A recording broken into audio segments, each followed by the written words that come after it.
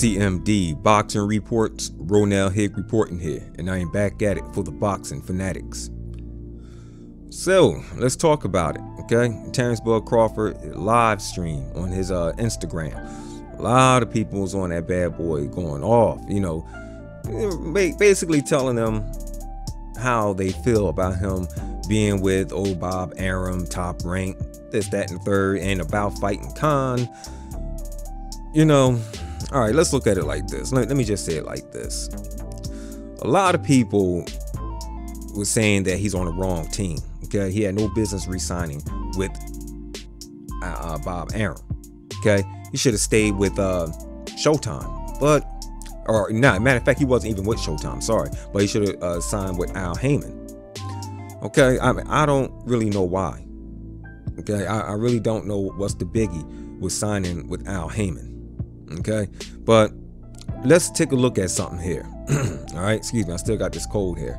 But look, Showtime Porter versus Garcia, they did 690,000 views, right?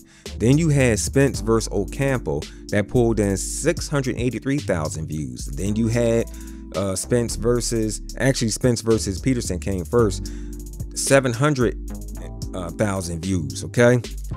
Then you had Charlo okay, uh, versus uh, Harrison and his older brother. I, forget the name of this guy he fought. That uh, came in at 1.69 million, 1.69 million views. Pretty good, okay. But with Terence Crawford, his fight versus Jose Benavidez ranked in at 2.2 million views, okay. He outdid all the PBC, okay, with 2.2 million views. I mean, I understand that one of his fights was on the app. Okay, uh, that was the one with Jeff Horn. And um, Spence, he fought twice on uh, just you know Showtime, right, or regular TV. But with those fights both together, only ranks at 1.3 million. Okay, even with both fights, Terence Crawford still outdid Spence versus Ocampo, Spence versus Peterson. Okay? He still outdid him. All right? With both of those fights added together, they still don't out Toms. Crawford versus Benavidez Jr. at 2.2 million. So you tell me, is he on the wrong team? Is he on the wrong side of the tracks? Ah, I don't know. I mean, he is he was an undisputed uh, junior middleweight, cha- I mean junior welterweight champion was any other PBC guys, any of them dudes I just named, were they undisputed? Heck, they all scared to fight each other. From what I see, you know, they talk about they want that smoke, but when someone stepped to the plate and ready to accept that smoke, like, oh, what? Yo, you giving out free smoke? Oh, nah, man, I'm gonna stay on my side of the tracks, man. You know, it's, it's other things, man. Come on.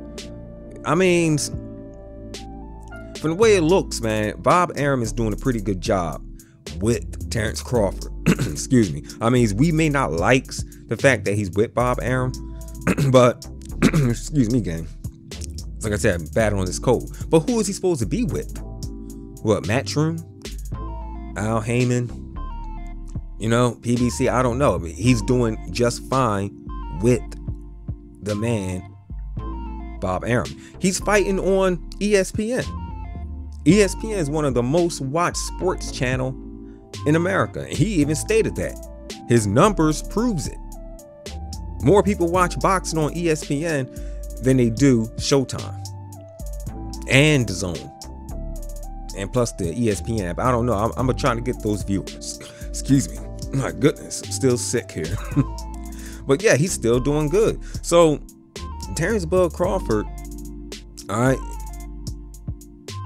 the man knows what he's doing. Okay, by sticking with Al. I mean, uh, the guy. Oh, I'm so sick here.